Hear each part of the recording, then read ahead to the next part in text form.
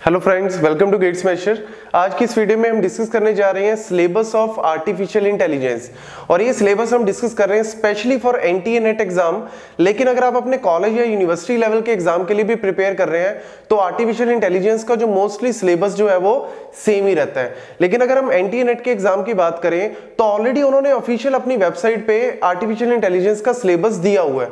तो सबसे पहला पॉइंट मैं यहाँ पे ये बताना चाहता हूँ कि हमारा जो ये मैंने सिलेबस यहाँ पे लिखा है और इस वीडियो को बनाने का मेन मोटिव क्या है? क्योंकि जब सिलेबस ऑलरेडी अवेलेबल है each and every point is already given तो इस वीडियो का आपको क्या बेनिफिट है? तो होता क्या है, जब भी मैं सिलेबस की वीडियो बनाता हूँ लाइक इससे पहले मैंने डीबीएमएस का सिलेबस बनाया था नेटवर्क का सिलेबस है ऑपरेटिंग सिस्टम का सिलेबस बनाया था specially for NTA NET exam and GATE exam और उसका लिंक जो है मैंने डिस्क्रिप्शन बॉक्स में डाला हुआ है तो आप प्लीज़ एक बार उसको भी चेक कर लीजिए। उसमें भी मैंने एक ही पॉइंट यहाँ पे बोला था कि जब भी आप कॉम्पिटेटिव एग्ज़ाम की तैयारी कर रहे हैं तो हार्डवर्क और स्मार्ट वर्क जो है वो आज के टाइम पे करना बहुत ही ज़रूरी है। जितने भी टॉपर्स हैं, अगर आप उनका इंटरव्यू देखें जितने भी लोगों ने क्वालिफाई किया है एग्ज़ाम तो वो जनरली हमेशा हार्डवर्क और स्मार्ट वर्क दोनों से ही काम करते हैं। तो हार्डवर्क तो ऑब्वियसली आपको ही करना है, लेकिन स्मार्ट वर्क स्ट्रेटजी कैसे बनानी है, वो हम लोग जो है आपकी हेल्प कर रहे हैं। तो यहाँ पे सबसे पहले मैं आपको बताना चाहता हूँ कि ये सिलेबस जो है, मैंने जो main main topics direct syllabus से ही उठाए हैं, लेकिन यहाँ पे स्ट्रेटजी हमने क्या बनानी है? स्ट्रेटजी बना रहे हैं हम कि जितने भी क्वेश्चन अब तक आए हुए हैं आर्टिफिशियल इंटेलिजेंस में से उसके बेसिस पे हम प्रायोरिटी डिसाइड करेंगे कि कौन से ऐसे टॉपिक हैं जिनकी प्रायोरिटी सबसे ज़्यादा है। मतलब आपको किसी भी हालत में उन टॉपिक्स को छोड़ के नहीं जाना, करके ही जाना है। दूसरा पॉइंट क्या होता है कि कई बार क्या होता है स्टूडेंट्स या तो आर्टिफिशियल इंटेलिजेंस पर्टिकुलर सब्जेक्ट में मास्टरी होती है। मतलब काफ़ी उनको इंटरेस्टेड सब्जेक्ट लगता है, अपने एंड पे वो अच्छे से पढ़ते हैं। लेकिन मैक्सिमम क्या होता है स्टूडेंट्स मतलब उनको ये होता है कि एक बार एग्ज़ाम के लिए हम तैयारी कर लें या एग्ज़ाम में क्या क्या आता है, उसके अकॉर्डिंग हम तैयारी करें। तो जब हम बुक परचेज करते हैं स्टैंडर्ड बुक जो है आर्टिफिशियल इंटेलिजेंस के लिए रिच एंड नाइट की, जो स्टैंडर्ड बुक हम फॉलो करते हैं that is Rich and Knight author by the Rich and Knight. लेकिन इंडियन ऑथर भी है लाइक सरोज कौशिक है, उनकी अगर आप बुक वही फॉलो करते हैं तो वो भी जो है, उसमें भी आपको कंटेंट जो है, वो सेम ही मिलेगा और इजी लैंग्वेज में आपको कंटेंट मिलेगा। लेकिन इसमें जो कंटेंट की लैंग्वेज है, वो थोड़ी सी आपको टफ लगेगी। लेकिन ऑब्वियसली बात है, अगर कम टाइम में अगर आप तैयारी कर रहे हैं तो आप एकदम से बुक देख के तो डेफिनेटली आपको एक डीमोटिवेशन ही होता है कि ये इतनी बुक हम कैसे फॉलो करें मतलब कैसे हम सब्जेक्ट्स को, कैसे सारे टॉपिक्स को कवर करें। तो यहाँ पे मैं अपने पूरे एनालिसिस से यही बताने लगा हूँ कि कौन कौन से ऐसे टॉपिक्स हैं जिनको आपको डेफिनेटली करके जाना है और कितनी डेप्थ तक करके जाना है। एक होता है कि हम पूरी डीप में उसको कर रहे हैं, लेकिन अगर आपके पास सफिशियंट टाइम है तो आप डेफिनेटली करें, क्योंकि आपकी नॉलेज इससे बढ़ेगी और नॉलेज तभी बढ़ेगी जब तक आप डीप उसमें जाएँगे। तो डीप लर्निंग का कॉन्सेप्ट भी यही कहता है कि आप ऊपर ऊपर से लर्निंग नहीं, पूरा उस कॉन्सेप्ट को डीप में करें। लेकिन अगर आप डीप में करना चाहते हैं तो आपके पास सफिशियंट टाइम होना चाहिए। तो ये सिलेबस जो है, ये वीडियो उनके लिए भी फ़ायदेमंद है।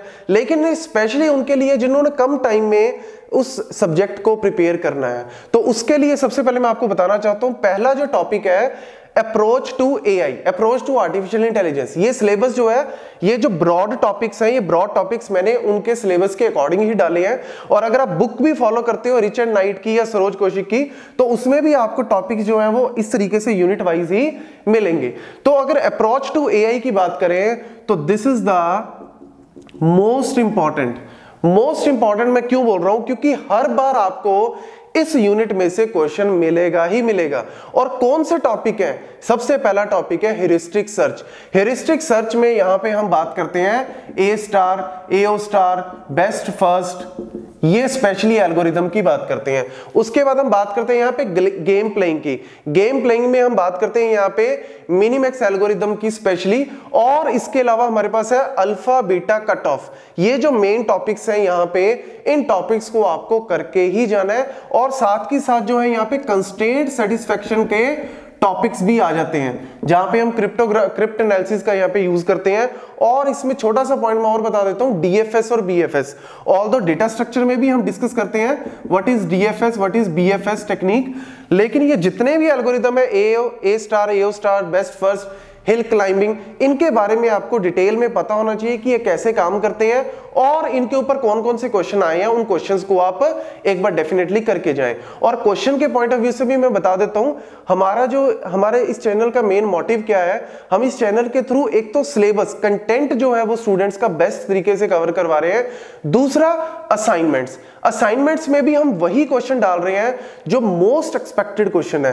तो आपको यहाँ पे कंटेंट भी तैयार करना है और इस कंटेंट के बेसिस पे क्वेश्चन जो है, वो क्वेश्चन भी करने हैं। तो क्वेश्चंस का ऑलरेडी हमने असाइनमेंट्स के लिंक मैंने डिस्क्रिप्शन बॉक्स में डाले हुए हैं। तो आप वो असाइनमेंट भी ज़रूर चेक करें। आपको क्वेश्चन से पता लगेगा कि उन उन टॉपिक्स को कहाँ पे यूज़ करना है? मतलब कंसेप्ट को हमने पढ़ लिया, लेकिन उस कंसेप्ट को यूज़ कैसे करना है? उसकी रियल लाइफ एप्लीकेशन क्या है? उसको हमने कैलकुलेशन में कैसे लेके आना है? वो आपको ऑब्वियसली क्वेश्चन करने के बाद ही पता लगेगा। तो सबसे पहला पॉइंट जो मैं यहाँ पे थ्री स्टार इसीलिए दे रहा हूँ this is the most important topic in the artificial intelligence दूसरा मोस्ट इंपॉर्टेंट टॉपिक यहाँ पे मैं देना चाहता हूँ फजी सेट को। इसको भी मैं थ्री स्टार दूँगा बिकॉज़ इसमें से भी आपको हर साल क्वेश्चन जो है वो मिलेगा ही मिलेगा और सेम पैटर्न के ही क्वेश्चन है। मतलब अगर या तो ए स्टार है या ए स्टार है, या बेस्ट फ़र्स्ट है, या फिर आपको डीएफएस और बीएफएस के ऊपर सिमिलर काइंड ऑफ़ क्वेश्चन मिलेंगे। कभी थ्योरी क्वेश्चन है या कभी थोड़े बहुत उनके ग्राफ से रिलेटेड क्वेश्चन आए हुए हैं। ऐसी फजी सेट में बात करें तो क्रिप यहाँ पे हमारे पास जो क्रिप्स और फजी सेट से रिलेटेड क्वेश्चन है, या फिर अल्फ़ा कट और operation union intersection minus operation इनके ऊपर जो है क्वेश्चन आपको सबसे ज़्यादा मिलेंगे। तो ये बड़े ही लॉजिकल से क्वेश्चन है। इनको आप अगर एक एक बार करें तो डेफिनेटली आपको पता लग जाएगा कि कैसे इनको सॉल्व करना है। तो ये दोनों टॉपिक्स जो है वो इनको मैं टॉप प्रायोरिटी पे यहाँ रख रहा हूँ। देन मैं इसको देना चाहता हूँ न्यूरल नेटवर्क को दो स्टार न्यूरल नेटवर्क को यहाँ पे मैं दो स्टार दे रहा हूँ। इसका मतलब ये नहीं है कि ये आपको नहीं करके जाना। ये भी मोस्ट इंपॉर्टेंट में ही है।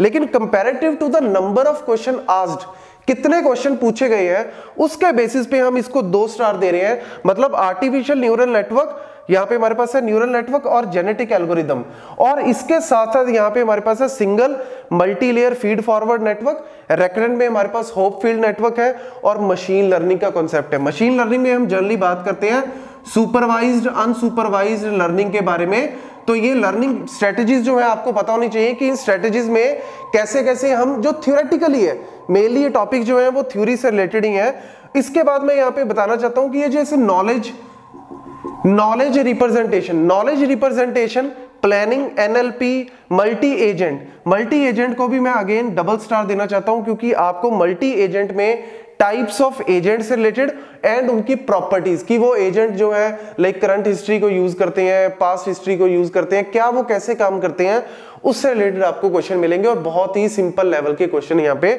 मिलेंगे। लेकिन इसके अलावा नॉलेज रिप्रेजेंटेशन एनएलपी प्लानिंग इनको मैं एक एक स्टार दे रहा हूँ। मतलब कहने का क्या है कि कंपेरेटिव टू इन सब के नंबर ऑफ़ क्वेश्चन आप कह सकते हो लेस है। लेकिन आपको इनको करके जाना है और इनके अंदर स्पेशली कौन कौन से टॉपिक नॉलेज रिप्रेजेंटेशन में बात करें तो कौन कौन सी अप्रोचेज है नॉलेज को रिप्रेजेंट करने के लिए?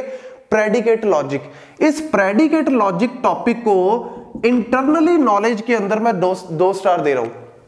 मतलब इस पूरे टॉपिक को तो मैंने सिंगल स्टार दिया है, लेकिन प्रेडिकेट लॉजिक को मैं डबल स्टार दे रहा हूँ, क्योंकि लॉजिक का जो कॉन्सेप्ट है, ये मैथमेटिक्स में भी आता है और ये कॉन्सेप्ट जो है आर्टिफिशियल इंटेलिजेंस में भी आता है। तो आपको डबल स्टार का मतलब यही है कि ये टॉपिक जो है नॉलेज के अंदर ये छोड़ के नहीं जाना। और साथ के साथ हमारे पास है रीजनिंग रीजनिंग में हमारे पास स्टेटिस्टिकल रीजनिंग है फॉरवर्ड एंड बैकवर्ड रीजनिंग है। ये जो मेन मेन टॉपिक्स हैं, बस इनके बारे में आपको थ्योरी पता होनी चाहिए कि क्या होती है, कैसे ये काम करते हैं। That is all then planning planning की अगर हम बात करें तो ओवरव्यू प्लानिंग क्या होती है प्लानिंग ग्राफ्स क्या है कौन कौन से टाइप्स है? लेकिन उसके अंदर अगर हम बात करें like hierarchical goal stack planning ये जो दो मेथड्स हैं, ये मोस्ट इंपॉर्टेंट मेथड्स हैं अदर देन ऑल मतलब आप इनके बारे में जो है ऊपर ऊपर से एक ओवरव्यू जो है, वो डेफिनेटली करके जाए और उसी में से ही आपको क्वेश्चन जो है, वो मिल जाएँगे। Then NLP. एनएलपी में यहाँ पे हमारे पास सिंथेटिक एंड सिमेंटिक जो है वो नेचुरल लैंग्वेज प्रोसेसिंग के अंदर ये जो मेन दो टॉपिक्स ही हैं, इन दो टॉपिक्स में से आप कवर करके जाएँ, जो जो इनकी थ्योरी है, और उसी थ्योरी से रिलेटेड ही क्या होता है क्वेश्चन जो है वो आते हैं। और कई बार यहाँ पे मैं एक और जो स्ट्रेटेजी मैं आपको बताना चाहता हूँ कि कई टॉपिक्स ऐसे हैं, जैसे जेनेटिक एल्गोरिदम है। जेनेटिक एल्गोरिदम में अगर आप प्रॉपर वे से पढ़ें जेनेटिक एल्गोरिदम तो आपको डेफिनेटली बहुत टाइम लगेगा सारे एल्गोरिदम्स को पढ़ने में। लेकिन होता क्या है, जब एक कॉम्पिटिटिव एग्ज़ाम्स में नए टॉपिक को इंट्रोड्यूस करते हैं तो नए टॉपिक में कभी भी डिटेल में क्वेश्चन नहीं पूछते।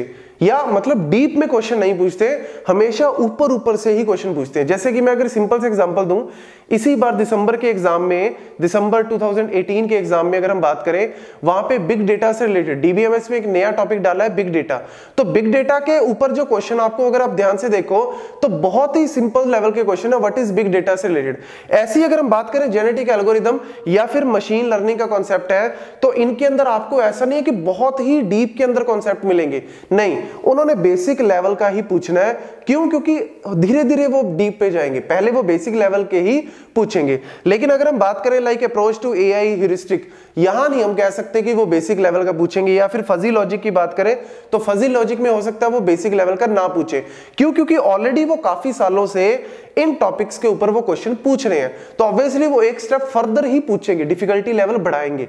लेकिन यहाँ पे डिफिकल्टी लेवल अभी बढ़ा ही नहीं, क्योंकि ये क्वेश्चन जो है वो बहुत ज़्यादा आ ही नहीं रहे। तो जब भी आएँगे, वो बेसिक लेवल के ही क्वेश्चन यहाँ पे मिलेंगे।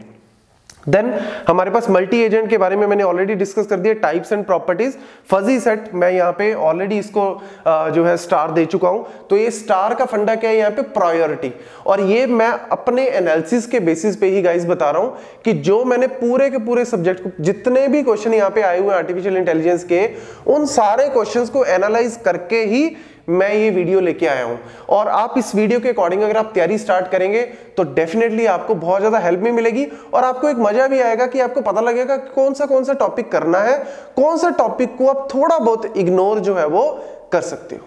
Thank you